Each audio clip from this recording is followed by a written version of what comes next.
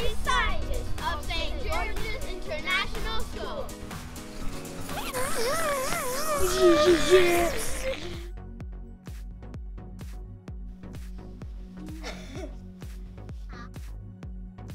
Oh.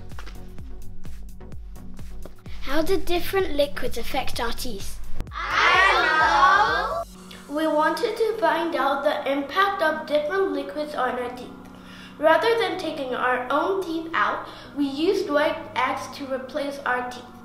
Eggshells contain calcium like our teeth, so they're a good replacement. To carry out the experiment, we will need the following equipment. A toothbrush, some beakers, different types of liquids, white eggs, some commercial toothpaste. We submerged 10 hard boiled white eggs for 48 hours in 5 different liquids. We kept one control egg in water for the same length of time so that we could compare the stains to an egg which had been kept in a transparent liquid.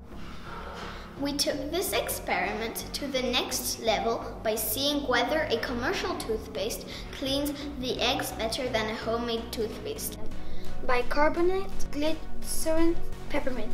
With two eggs in each liquid, we had a chance to test both types of toothpaste on the same liquid stains.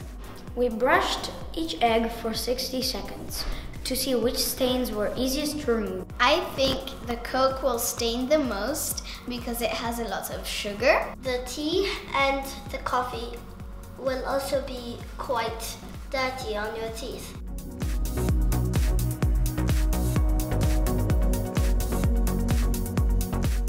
Not surprisingly, the Coke stained the most. We think this we think this is because the Coke had the highest amount of sugar.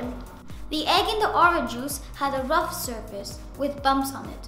We're not sure why. We know that orange juice is acidic. That means it can break down the enamel of your teeth. If you want white teeth, stick away from Coke, tea, and coffee. Oh!